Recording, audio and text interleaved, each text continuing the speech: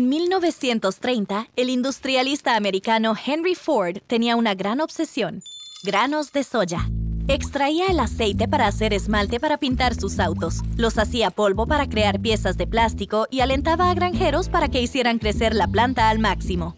Pero no solo usaba la soya para sus máquinas. En la Exposición Mundial de Chicago hizo un festín en torno a la soya. El ingrediente había sido clave en la cocina asiática por siglos, pero en la cena de Ford, llena de sustitutos de leche, carne y gluten, avanzó más en su integración.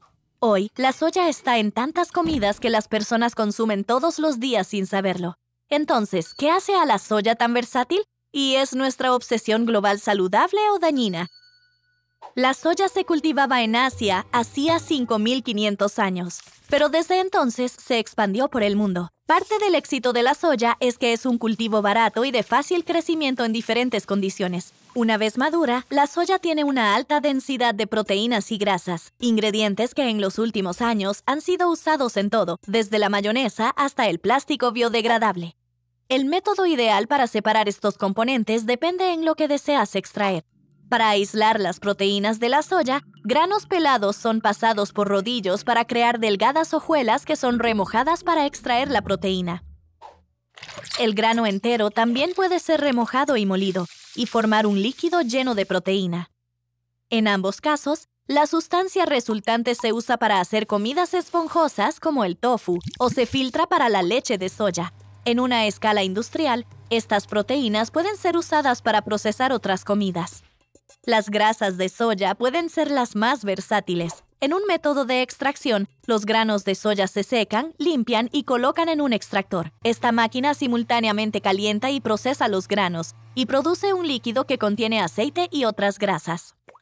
Al agregar agua y batir la mezcla, los componentes son separados en dos partes. Aceite de soya refinado para aderezos de ensalada o una sustancia llamada lecitina. La lecitina está hecha de moléculas llamadas fosfolípidos, que tienen cabezas de fosfatos que atraen agua y colas que atraen grasa. Estas características hacen a los fosfolípidos excelentes para mezclar ingredientes que naturalmente se separan. El proceso se llama emulsificación y la lecitina de soya es usada como emulsificante en muchos alimentos. Por ejemplo, durante la producción de chocolate, los fosfolípidos agarran la grasa de la manteca de cacao y las partículas de los azúcares que los ayuda a convertirse en una mezcla homogénea. Un proceso similar ocurre con productos en polvo que deben ser rehidratados. La lecitina de soya se une con el agua y hace que el polvo se disperse más rápido. Aunque otras plantas pueden procesar lecitina y proteínas, el sabor suave de la soya y su amplia disponibilidad le han dado un lugar en miles de alimentos. Pero, ¿es poco saludable comer tanta soja? No realmente. La soja tiene aminoácidos esenciales para el cuerpo, lo que la vuelve una de las mejores formas de comer proteínas sin carne. El contenido de la grasa del grano es llamada buena grasa, ácidos grasos poli y monoinsaturados que pueden disminuir el colesterol y reducir el riesgo de enfermedad cardíaca. Hay componentes de la soya que inhiben la absorción de diferentes minerales.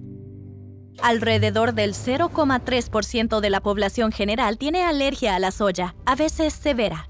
Pero para mucha gente, la queja más grande sobre el consumo de soja es el incremento de las flatulencias.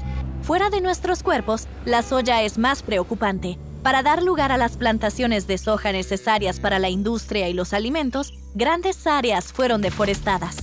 Entre 2006 y 2017, 22.000 kilómetros cuadrados en el Amazonas fueron talados para producir soya. En algunas regiones, esto ha llevado al desplazamiento de granjeros y comunidades indígenas. Si queremos seguir produciendo soja y sus derivados, necesitamos encontrar una manera de hacerlo sostenible y humano.